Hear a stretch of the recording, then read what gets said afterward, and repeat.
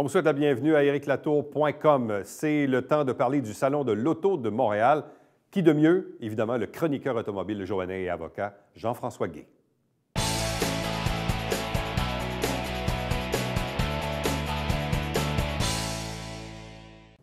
On est à quelques heures du début du Salon de l'Auto de Montréal qui va se tenir du 17 au 26 janvier au Palais des Congrès, évidemment, dans la métropole. Avec nous pour en parler et parler de cette formidable industrie qu'on aime bien, il est avocat, mais il est chroniqueur automobile et il est de Saint-Jean-sur-Richelieu. C'est Jean-François Gay. Bonsoir et bienvenue. Bonsoir. Bon début d'année. Bien, merci beaucoup. C'est drôle parce que, là, on change un peu de, décennie et c'est toujours intriguant de, voir un peu les, les nouveautés, la technologie, euh, la vision d'avenir des constructeurs automobiles, un peu poussée aussi par euh, tout le volet électrique, l'électrification des transports qui prend de plus en plus de place. Et évidemment, un événement comme le Salon de, l'Auto à Montréal aussi permet un peu de voir un peu ce qui s'en vient dans, l'industrie. Bref, à quoi, à quoi, les, à quoi les, les, les, les visiteurs doivent-ils s'attendre dans les, dans les prochains jours si les gens vont faire un tour à Montréal d'ici euh, vendredi le 26? C'est sûr qu'il y a certaines voitures électriques, ils ne seront pas tous là. Euh, moi, je vous dirais les principales attractions, on pense à la Mustang Mach-E, qui est une voiture, c'est une espèce de Mustang qui ressemble à un véhicule utilitaire sport. Ah avec un rayon à l'arrière. Puis c'est un véhicule entièrement électrique. Puis vous allez avoir le choix en quatre, quatre puissances de batterie, donc quatre différentes autonomies qui peuvent aller pratiquement presque jusqu'à 500 km. Deux ou quatre roues motrices. Donc, puis apparemment que ces voitures-là sont déjà toutes vendues dans le monde pour 2020, 2021. Donc, moi, je, moi, je considère que c'est la principale attraction du Salon de l'Auto. De voir la Mustang électrique. Mustang électrique. Mais juste le fait de dire Mustang électrique, pour les purs et durs, et même moi qui ai vu le film tout récemment de Ferrari contre Ford, hein, où on parle beaucoup de la Mustang. Mais tu sais, tu te dis, euh, c'est une vraie Mustang? Bien, avec l'apparence, oui. C'est sûr qu'on ne l'a pas encore essayé. Une Mustang aussi, la principale caractéristique d'une Mustang, c'est le véhicule. C'est le bruit. C'est le bruit, c'est le moteur. Mais là, c'est un véhicule électrique, fait que ça ne fait pas de bruit. Ça ne fait pas de bruit. Donc. Euh, c'est des paradigmes, peut-être. Hein? On, est, habitué à, des trucs. C'est des paradigmes. C'est comme si dans notre tête, on se dit c'est impossible qu'une Mustang devienne électrique. Bien, c'est sûr. On prend la Corvette aussi, Chevrolet Corvette. Chevrolet Corvette, moteur, moteur maintenant moteur central, moteur qui se situe à l'arrière, si tu veux, des, des, des, passagers avant, bien, des passagers avant, du, du pilote avec son passager. Donc, ça, va, ça, change, ça change du tout au tout. En passant, cette voiture-là a été élue la voiture nord-américaine de l'année. Euh, mais la journée que la voiture, la Corvette, va nous être vendue avec un moteur électrique, ça va venir éventuellement. Ou ça va, ça va peut-être être un hybride, voiture hybride, euh, moteur hybride, comme chez Ferrari notamment. Tu sais, il y a de plus en plus de voitures exotiques. On pense aussi à l'Acura NSX. Euh, c'est des voitures qui font appel à des motorisations électriques avec des moteurs à essence. Ça, je mhm. vous dirais que c'est la nouvelle tendance. Voiture électrique, entièrement électrique, encore une fois, moi, je vous dirais là, que le marché est à la traîne. Il y a encore des voitures de grand luxe. On pense au, euh, CES qui a eu lieu euh, à Las Vegas. Hein, c'est le consumer euh, pour les. c'est pour le marché, le, le, salon de l'électronique pour les consommateurs. Alors, habituellement, on est habitué de voir des télévisions, de voir des, des iPhones, tout ça, mais là, de plus en plus de voitures sont présentées dans cet événement-là. Puis pourquoi? Bien, le salon de l'auto de Détroit, qui a lieu habituellement au mois de janvier, a été déplacé au mois de juin. Ah oui? Oui. Donc, cette année, ça fait en sorte qu'il y a des nouveautés qu'on va avoir à Montréal, qu'on a à Montréal, qu'on n'aurait pas dû avoir. à cause de Détroit qui est déplacé? Oui, parce que si on pense à la Mustang électrique, moi, je pense que cette voiture-là aurait pu être réservée à Détroit, puis qu'on ne l'aille pas à Montréal. Mhm. Mais là, le fait que ça soit déplacé au mois de juin, Bien là, oui. Parce que là, dans les plus récents événements, donc il y a eu le CES à Vegas, mais il y a eu aussi le Salon de l'Auto à Los Angeles. Au mois de novembre. Puis je vous dirais que justement, cette année, euh, le Salon de Los Angeles avait pris de plus en plus d'importance euh, dans l'industrie au cours des cinq, six dernières années. C'est ça, ça va pénaliser le Salon de Détroit. Ça explique pourquoi Détroit s'en va en juin. Puis cette année, bien, Los Angeles, il y a eu vraiment plusieurs nouveautés qui ont été présentées, mais qu'on va revoir aussi, qu'on va voir aussi à Montréal. Je pense euh, euh, au, niveau qu'il y a Steltost, qui est un petit VUS. On pense aussi au Chevrolet Trailblazer, qui est un petit VUS. Là, on parle vraiment de petit. Tu as des VUS compacts, mais là, tu as des VUS qui se situent entre compact et sous-compact. On s'en va vers ça, là, des, des- des mini VUS. Est-ce qu'il y a encore un marché pour la berline?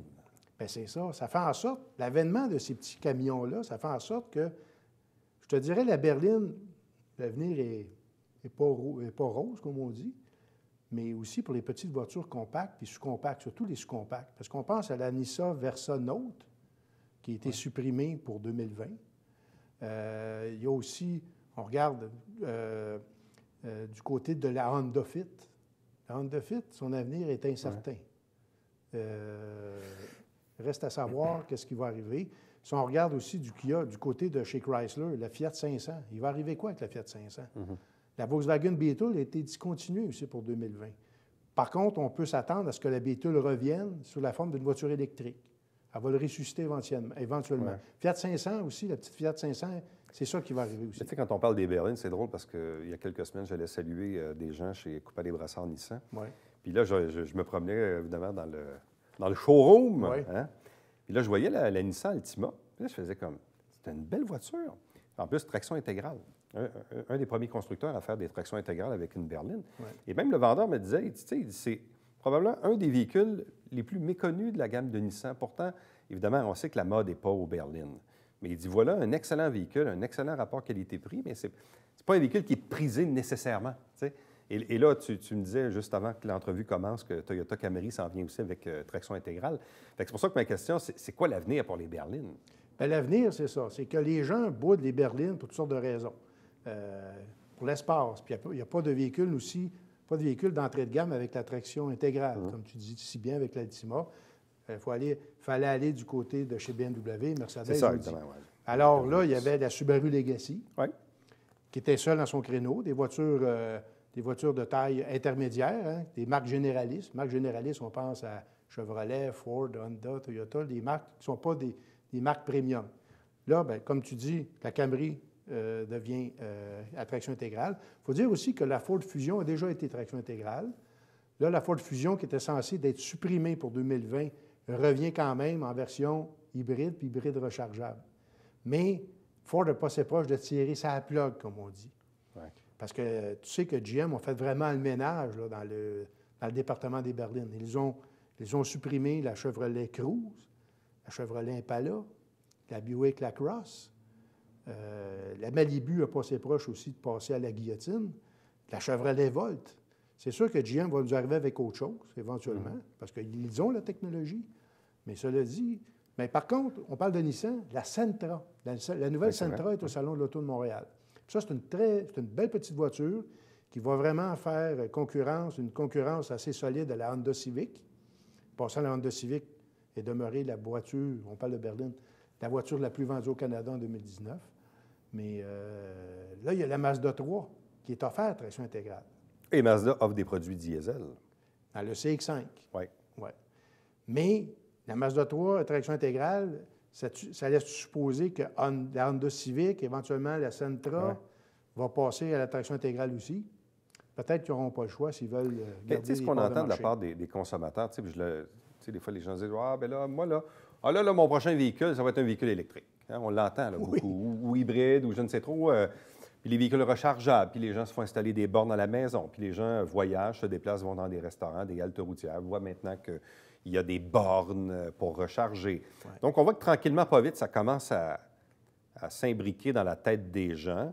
Euh, Moi-même, je vais peut-être changer de véhicule quelque part au printemps pour mon véhicule personnel. Puis ma conjointe, elle me dit là, il faudrait qu'on ait un véhicule électrique. Donc, on voit que dans, cette mentalité-là, il y a comme une pression populaire d'aller vers ça. Oui. Ça ne veut pas dire qu'une fois que tu es dans, euh, dans l'accueil chez le concessionnaire, que, que tu vas prendre la décision d'y aller, parce que là, quand tu regardes les coûts, Il y a la différence de prix. c'est ça, la différence de prix, puis tout ça, mais, mais ça reste qu'il y a comme une volonté d'aller vers ça. Et probablement qu'au Québec, on est l'une une des provinces où il y a le plus de véhicules électriques aussi. Là. Ben oui, parce qu'avant, on rivalisait avec l'Ontario, mais l'Ontario, euh, le, le gouvernement euh, qui est en place a aboli les subven- la subvention gouvernementale. Ici, pour une voiture entièrement électrique, la subvention, c'est de 8 000 Pour un hybride rechargeable, c'est 4 000 On parle au niveau provincial. En Ontario, c'était jusqu'à 14 000 C'est beaucoup, ça. Mais là, euh, le gouvernement à Doug Ford, ils ont coupé ça complètement. Ça fait en sorte que les voitures électriques, les voitures hybrides rechargeables ont connu une- des baisses de vente, des baisses drastiques, là, l'autre côté. hein, À cause des subventions. à cause de la subvention. Ouais.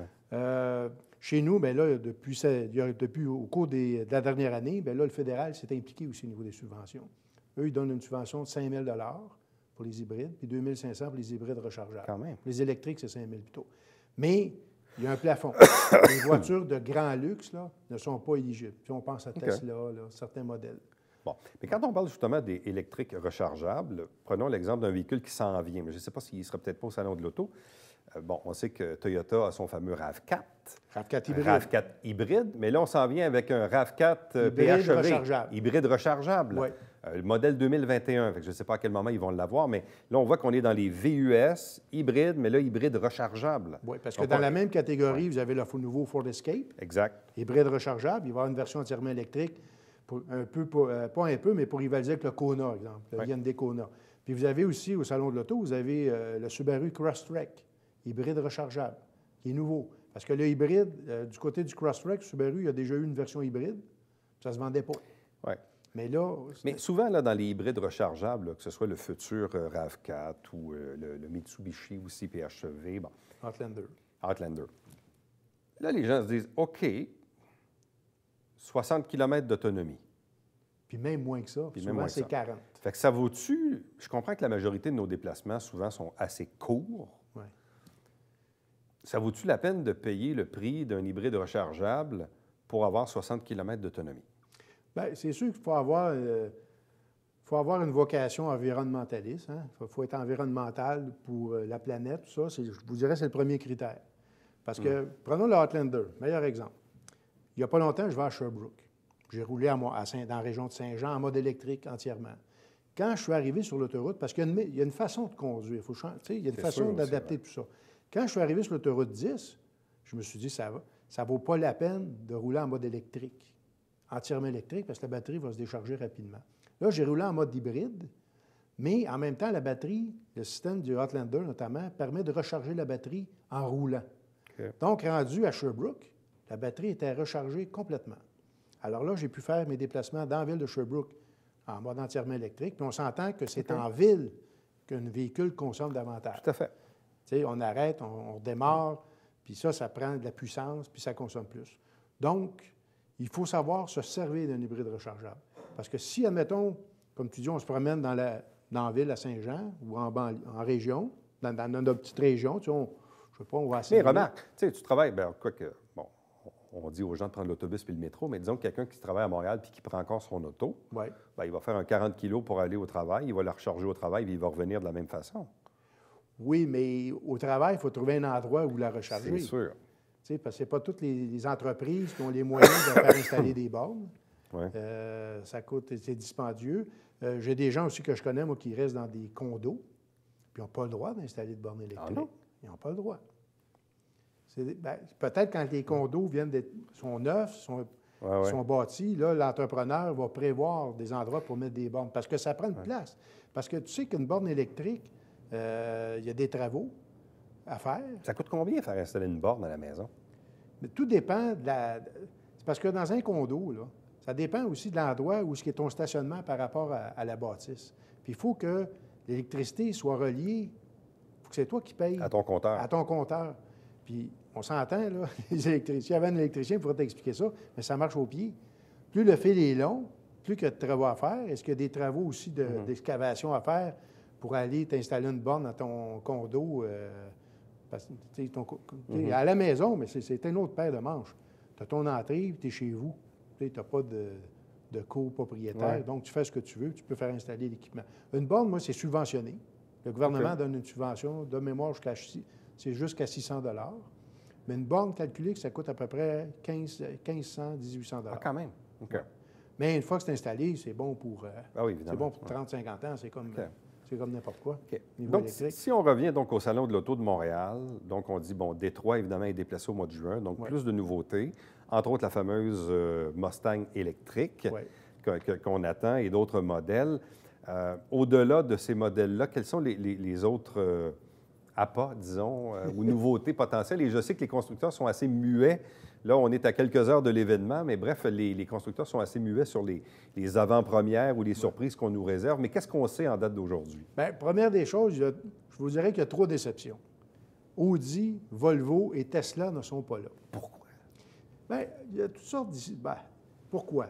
Surtout Audi. Ça coûte Audi, ça, c'est dur à expliquer. C'est surprenant, ça. C'est surprenant. Surtout qu'ils ont plusieurs modèles hybrides rechargeables hein, qui s'en viennent sur le marché. La e-tron. La e-tron est là. En plus, c'est un véhicule entièrement électrique. Vous avez la e-tron Sportback aussi qui aurait pu être là. Donc, Audi, Volvo, Tesla, pas là.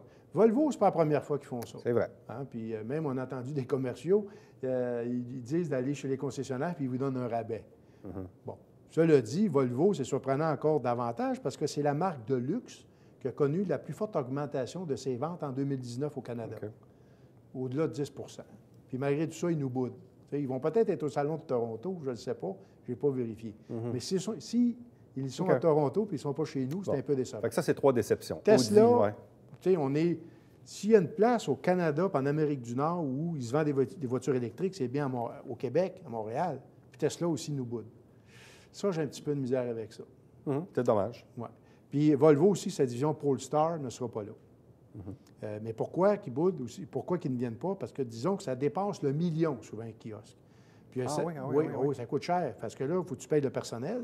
Il y a des, décorations, euh, tout le, montage du, kiosque. Parce qu'il y a certains manufacturiers, là, je nommerai pas de marque, mais vous allez arriver là, il n'y a pas grand-chose. Il y a quelques tables, ils ont pris de la place, ils ont installé les, véhicules, mais il n'y a pas de décor. Oui, oui, oui. Ça ne ressemble pas à un salon funéraire, mais pas loin. mais il y en a d'autres qui veulent mettre le paquet. Ils mettent la totale, là. Oui. Fait que là, même Mercedes euh, va être là, mais c'est les concessionnaires Mercedes qui se sont mis ensemble pour euh, avoir assurer leur présence. Assurer leur présence. Puis si on pense aux marques exotiques, hein, vous savez, on parlait du salon de Détroit. Au salon de Détroit, les années antérieures, il n'y avait jamais de marque exotique. On pense à Ferrari, Lamborghini, Aston Martin, Bentley, Rolls-Royce, nommez-les tous. Mais là, ils, vont, ils sont là. Mais ça, c'est les concessionnaires de la région de Montréal qui payent pour être là. Bon. Il y a aussi la présence d'une McLaren qui vaut assez cher? Oui, une McLaren qui, va, qui vaut pratiquement un million de dollars, une McLaren Senna, hein, en, l'honneur du pilote de Formule 1 Ayrton Senna. Il y a aussi, euh, il va y avoir une autre voiture, euh, la une Pagani, voiture italienne, qui vaut 2 400 000 Mais ça, vous ne pourrez pas l'y toucher, puis vous ne pourrez pas vous asseoir au volant. Même cette année, ils vont être dans des blocs de verre pour éviter que les mains baladeuses là, touchent à la carrosserie. Quand même. On en est rendu là. Mais ça, c'est à la demande des propriétaires des véhicules. Euh, on parle de marque de luxe. Bon, BMW a une belle présence. BMW va avoir la série 2 Grande Coupe. Ça, c'est une voiture quatre portes mais qui émettent un coupé. Donc, avec, tu sais, tantôt, on parlait des berlines. Bien, pour donner, tu regardes chez BMW, tu regardes juste la série 3, bien, vous avez le, un modèle Aion, un mm. modèle berline, modèle euh, familial. Ils modifient la carrosserie pour essayer d'élargir, d'aller chercher une plus grande clientèle. Bon, vous avez, le, vous avez la série 2, vous allez avoir aussi le, ben, le X7, c'est pas nouveau, mais il va avoir la M8. Il y a la nouvelle série 8. Vous allez avoir une M8. Bon, il n'y a pas grand monde qui va acheter ce genre de véhicule-là. Vous allez avoir le XM, le X5M aussi, encore un véhicule de haute performance. Et euh, il va y avoir une M2 aussi, une, une série 2, mm-hmm. une M2, une voiture encore de haute performance. Euh, il va y avoir aussi, du côté de BMW, il va y avoir la Mini entièrement électrique, qui est tout nouvelle. Ben, il y a déjà une Mini électrique.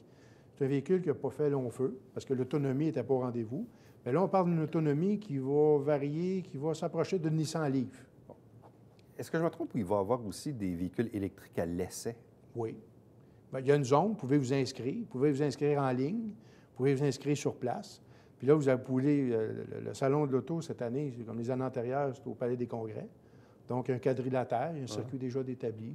Vous allez pouvoir conduire notamment, bon, il y a le Chevrolet Bolt, vous allez avoir, euh, il y a une Kona, euh, il va avoir. Euh, ben, la i3 peut-être aussi, de BMW? BMW i3, bien, j'ai la liste, pas loin, mais toutes les petites voitures électriques sont actuellement sur le marché.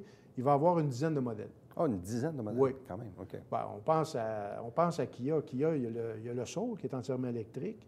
Euh, il y a le Kia Kona, le nommé. En tout cas, toutes les petites voitures électriques. La Nissan Leaf, il ne faudrait pas l'oublier. Qui, en passant, au CES hein, à Las Vegas, ils ont dévoilé un rouage intégral pour la Nissan Leaf. Mhm. Donc, ça, c'est. c'est- Mais plus ça va, plus les, les consommateurs veulent avoir des tractions intégrales. là. Oui, mais, tu sais, c'est un. Il y a un paradoxe dans tout ça. Parce qu'on on parle de sauver de l'essence, de diminuer. On le sait qu'au Québec, les ménages sont endettés. Les gens ont de la misère. Certains, il y a il y a de la misère à arriver, il faut se le dire. Les taxes, ici et ça, les impôts.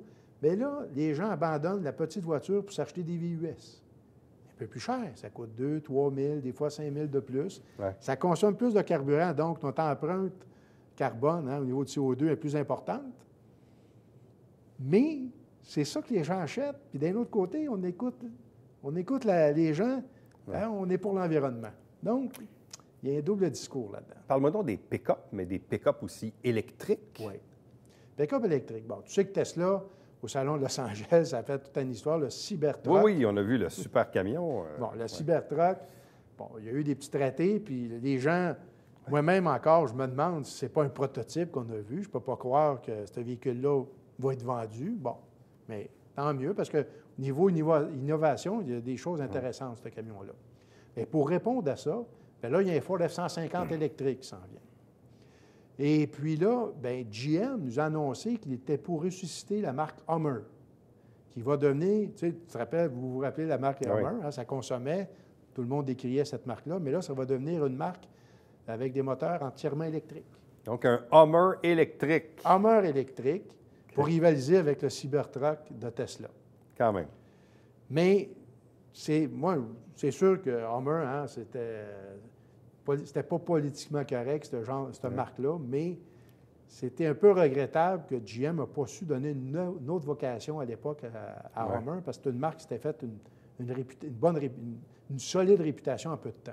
Tu sais, on parle de Jeep, qui est la marque la plus connue dans le monde avec Coca-Cola, mais Hummer, Ouais. avec toute la pub qu'Arnold Schwarzenegger Ouais. avait faite à l'époque, puis on sait le, le côté américain, comment ils aiment les, les engins associés euh, aux militaires. Alors, euh, c'est pour ça qu'Hummer s'était fait une, une réputation assez rapide. Là, ces temps-ci, tu roules avec quoi? Bien, à l'essai, j'ai un véhicule intéressant. J'ai la Volvo V60 T8. Donc, c'est une voiture hybride rechargeable. C'est le- l'équivalent de la S60, mais en format familial. OK. Euh, donc, puis j'ai euh, une Subaru Crosstrek que j'ai pu essayer amplement dans la neige là, au cours des derniers Ouais. jours. Et puis? Bien, une Subaru, ça reste une Subaru. Par contre, il faut, mettre des- faut, faut installer des bons pneus. J'ai remarqué, j'ai discuté avec des gens qui, ont- qui sont propriétaires de Subaru. Ils ont des bons véhicules pour aller dans la neige, mais des fois, ils ne mettent pas le bon budget Pour les pneus. ouais. pour les pneus. Mais si- si tu veux avoir un véhicule euh, performant dans tous les sens du mot, il faut, faut mettre des, faut installer des bons pneus quand même si on a un bon véhicule pour aller dans la neige ou sur la glace. Genre du Nokian. euh, Ben, Nokian, mais ouais. Bridgestone aussi a sorti Ouais. un bon pneu cette année, le WS euh, OK. 90. Mais euh, c'est sûr que Nokian est dans une autre, catégorie. une autre catégorie, mais autres, les autres marques sont pas loin derrière. Ça se débrouille bien dans la neige, oui? Une Subaru, Oui. Ben, je te dirais, moi, une Subaru, c'est que tu, fais corps avec le véhicule, que ce Mhm. soit un Forester, un Crosstrek ou, en passant, la nouvelle, euh, la nouvelle Outback aussi va être au Salon de l'Auto. C'est sûr qu'elle est déjà vendue chez Mhm. Ouais. les concessionnaires. Mais euh, je- je- si j'avais eu peut-être un VUS, moi, à élire cette année comme meilleur, euh, le VUS nord-américain de l'année, Ouais. j'aurais peut-être donné mon vote. Parce que, à la surprise générale, c'est le Kia Telluride qui a été élu Ouais. le VUS de l'année. Parce que Subaru n'est pas dédaigné, mais euh, moi, j'aurais pensé peut-être plus que le Kia Soul électrique aurait remporté le, le titre de, V- de VUS de l'année. Puis en passant, du côté pick-up, euh, c'est la Corvette qui a été élue voiture nord-américaine de l'année, le Kia Telluride le VUS de l'année, puis c'est le Jeep Gladiator, Mhm. le nouveau pick-up Jeep. En passant, Jeep va avoir un moteur diesel en 2020. Ah oui, oui. Euh, il, va, il va être, il va être offert dans le Wrangler. Parce que là, Mhm. c'est la troisième génération du V6 3 litres éco-diesel. On sait que l'association Chrysler, Fiat, c'est un moteur d'origine italienne. Puis le diesel chez Vaux, ça ne reviendra plus? Je pense pas. Non? OK. Mais les marques, tu vois, là, du- Ouais. euh, euh, les, euh, Ford, GM, ben, dans les camionnettes, là, le F-150, Mhm. le Sierra de GMC, Chevrolet Silverado ont des petits V6 3 litres diesel. Jeep, le Ram, puis avec le, Jeep Wrangler, le Gladiator aussi, on le 3 litres diesel. Ça va revenir tranquillement. Mais pour des, je pense, des gros véhicules utilitaires. Ah, en passant. Pour 2021, on a-tu le temps? Oui, vas-y. Chevrolet Tahoe, GMC euh, Yukon va avoir un moteur diesel. Ça, ça fait longtemps qu'on n'a pas un moteur diesel dans les grands VUS de GM. OK. Jean-François Guy, merci beaucoup. Ça me fait plaisir. On va aller se promener au Salon de l'Auto. merci. Salut. Restez avec nous. Au retour, on vous présente le Babillard quotidien.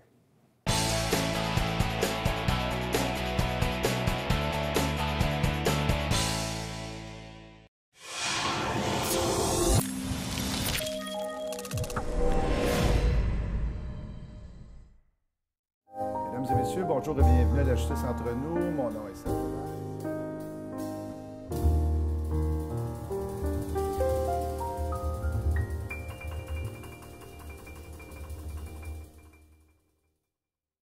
Salut, ici Alexandre Baudouin. Et François Trépanier. François, cette semaine à Sport Express, on part avec une véritable légende. Oui, celui qui se cache derrière le succès de Pierre-Carl Ouellette, Michel Roy, est avec nous. Et à quand une nouvelle styliste pour Claude? Ça. Joignez, là.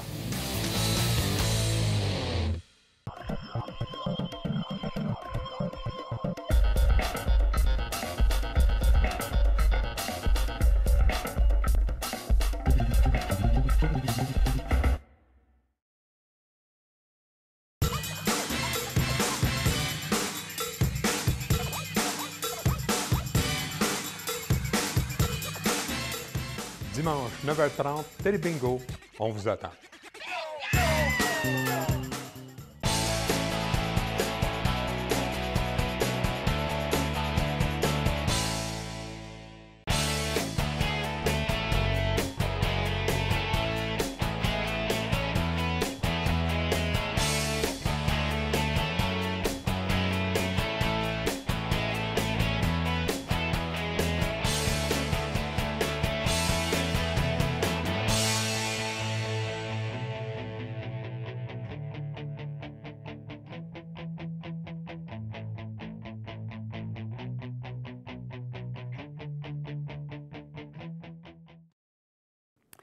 Bravo à la famille Archambault, marchand propriétaire du Rona Iberville, qui a remis un 5 000 un bel engagement à la Fondation Le Renfort. Chaque semaine, on vous présente des extraits des travaux du Conseil de ville et l'émission s'appelle tout simplement Saint-Jean-sur-Richelieu. Chaque dimanche matin, 9h30 en direct, c'est le Télébingo avec 4 000 en prix. Et pour avoir la liste des détaillants pour acheter les cartes, www.tvhr9.com. À demain. Bye bye.